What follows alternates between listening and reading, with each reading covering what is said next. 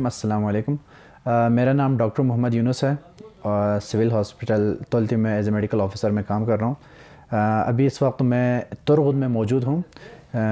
तकरीबन ये मेरा चौथा दिन है। पहले एक दफ़ा मेडिकल टीम के साथ मैं आया था, फिर वापस चला गया था। और डीएचओ साहब और डायरेक्टर हेल्थ के हुक्म पर मैं अभी तुरगुन के उस इलाके में हूँ, जहाँ पे ये ख़दशा था कि कोई वबाई मर्ज़ फैल रहा है।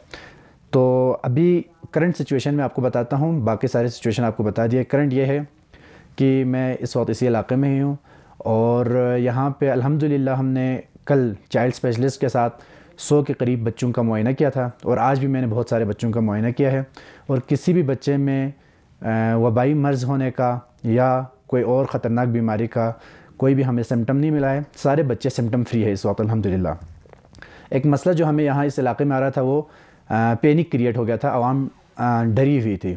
तो अल्हम्दुलिल्लाह अभी आ, मेरी मौजूदगी में और बाकी मेडिकल चाइल्ड स्पेशलिस्ट और डीएचओ साहब के यहाँ के आने के बाद अभी जो उनका जो उनकी जो परेशानी थी और जो पैनिक अटैक का जो शिकार थे तो लोगों में खौफ हराज जो फैला हुआ था वो भी अभी ख़त्म हो चुका है। आ, कल जब हम यहाँ पे आ रहे थे तो रास्ते का इशू था। यहाँ के आवाम ने अपनी मदद आपके तहत माशाल्लाह से बिल्कुल रास्ता क्लियर किया हुआ था, जिसकी वजह से हम यहाँ तक पहुँच सके। यहाँ आने के बाद, यहाँ के जो दो जी थे, मुजम्मिल और रज़ा, और यहाँ के अवाम मुबशर भाई और दिगर ने बहुत ताउन किया, जिसकी वजह से जो प्रोफाइलेक्टिक डोज थे, हमने सबको अभी पहुँचा दिया है, आज ही पहुँचा दिया सब प्रोफाइलेक्टिक डोज बच्चों में भी, बड़ों में भी, और प्रेगनेंट लेडीज़ में जिस तरह हमें रिकमेंड किया गया था स्पेशलिस्ट की तरफ़ से, वो हमने पहुँचा दिया है। इस वक्त सिचुएशन ये है अलहमदिल्ला सारे बच्चे सिम्टम फ्री है।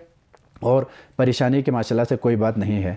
मैं अभी मेरे ड्राइवर फ़िदा अली के साथ और इस वक्त एंबुलेंस भी यहाँ पे तैयार है किसी भी इमरजेंसी सिचुएशन को हैंडल करने के लिए। तो अभी ये है और इस वक्त हमने स्कर्दू खरमंग से डीएचओ के थ्रू और एक दो तंजीमों के थ्रू अखुंदियान वेलफेयर के थ्रू मज़ीद मेडिसिन मंगवाए हैं ताकि अगर आगे भी इनको कोई परेशानी में परेशानी का सामना ना हो तो मेडिसिन की अगली खेप इन कल यहाँ पर पहुँच जाएँगे। तो इस वक्त सिचुएशन कंट्रोल में है, इसलिए इस वजह से आवाम को भी परेशान होने की ज़रूरत नहीं है। बहुत शुक्रिया।